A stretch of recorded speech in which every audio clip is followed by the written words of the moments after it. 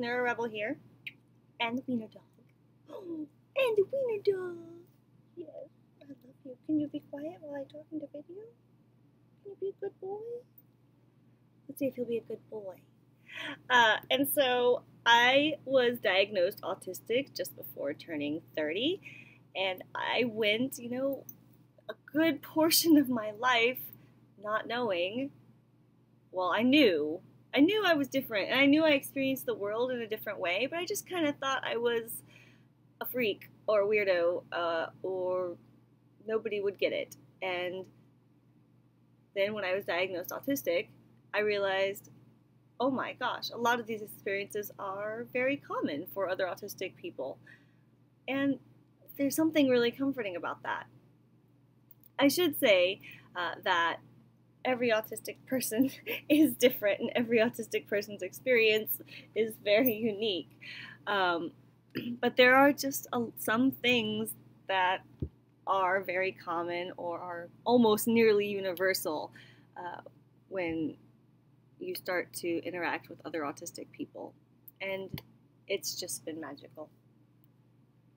So I make videos because I was diagnosed, and then when I went on the internet after I had been reading the words autistic people and I Googled autism, what I found was in contradiction to you know the voices of autistic people and it was very gloom and doom and really terrible. And there was just so many myths like autistic people don't have empathy uh, and things like that just really terrible things.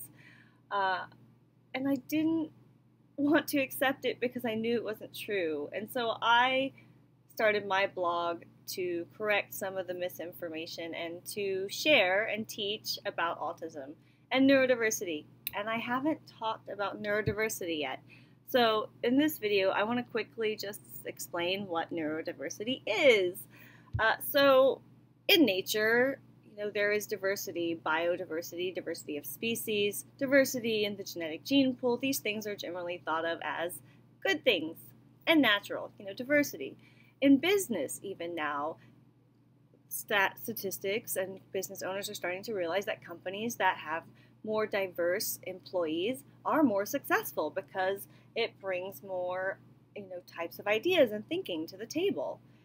And neurodiversity is brain diversity and thinking style diversity. So this includes autism, ADHD, uh, and you know some other um, things uh, would be included in neurodiversity. It's not just autism. I want to just make sure that is clear.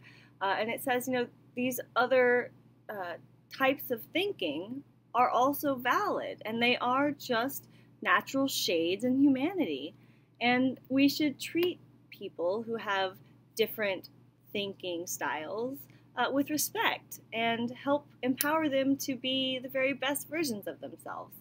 And that's neurodiversity in a nutshell. Uh, so, anyway, guys, thank you so much for hanging out with me this week.